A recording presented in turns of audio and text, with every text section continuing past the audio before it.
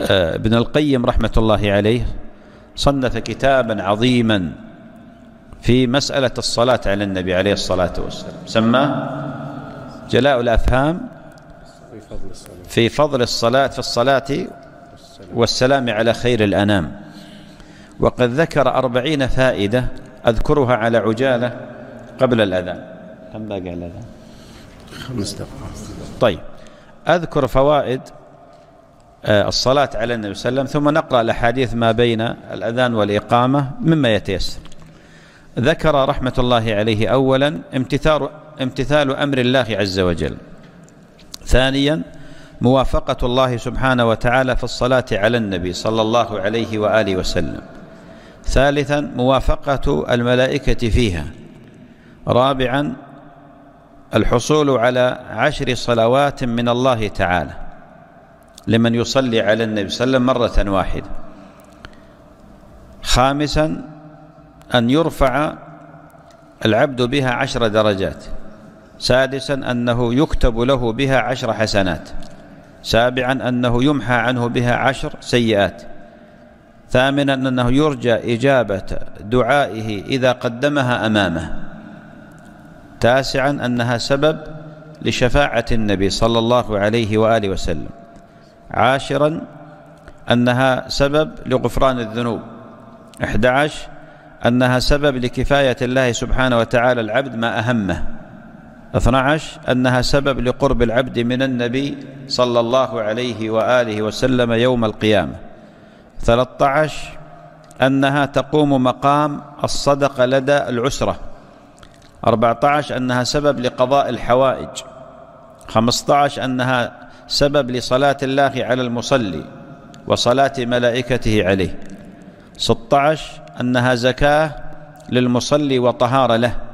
17 أنها سبب لتبشير العبد بالجنة قبل موته.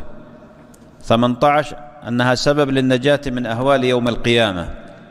19 أنها سبب لتذكر العبد ما نسيه. عشرون أنها سبب لرد النبي صلى الله عليه وسلم على المصلي والمسلم عليه. واحد وعشرين أنها سبب لطيب المجلس فلا يعود حسرة على أهله يوم القيامة. اثنين وعشرين أنها سبب لنفي الفقر. ثلاثة وعشرين أنها تنفي عن العبد اسم البخل إذا صلى عليه صلى الله عليه وسلم عند ذكره. أربع وعشرين أنها سبب للنجاة من الدعاء عليه برغم الأنف.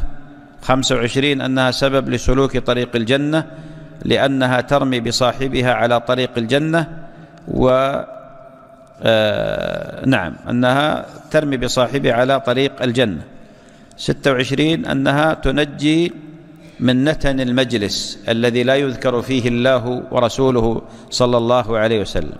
سبع وعشرين سبب لتمام الكلام الذي ابتدأ بحمد الله والصلاة على رسوله عليه الصلاة والسلام. ثمانية وعشرين أنها سبب لكثرة نور العبد على الصراط ووفرته. تسعة وعشرين أنها أنه أنه يخرج بها العبد عن الجفاء. يخرج العبد عن الجفاء إذا أكثر من الصلاة على النبي عليه الصلاة والسلام. آه ثلاثون أنها سبب لإبقاء الله تعالى الثناء الحسن للمصلي عليه بين السماء والأرض. واحد وثلاثين سبب البركة أنها سبب البركة في ذات المصلي وعمله وعمره وأسباب مصالحه. اثنين وثلاثين أنها سبب لنيل رحمة الله للعبد.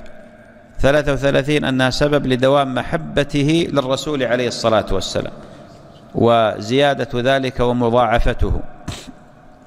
أربع وثلاثين أنها سبب لمحبة الرسول صلى الله عليه وسلم للمصلي عليه. خمسة وثلاثين أنها سبب لهداية العبد وحياة قلبه. ستة وثلاثين أنها سبب لعرض اسم المصلي على النبي صلى الله عليه وآله وسلم وذكره عنده. سبعة وثلاثين أنها سبب لتثبيت القدم على الصراط والجواز عليه. ثمانية وثلاثين أن الصلاة عليه أداء لأقل القليل من حقه صلى الله عليه وسلم. تسعة وثلاثين أنها منتظمة لذكر الله تعالى وشكره ومعرفة إنعامه على عبادة عباده برسالته صلى الله عليه وسلم والأربعون أنها دعاء بحيث يسأل العبد ربه تبارك وتعالى أن يثني على خليله وحبيبه صلى الله عليه وسلم ويزيد في تشريفه وتكريمه وإيثار ذكره ورفعه.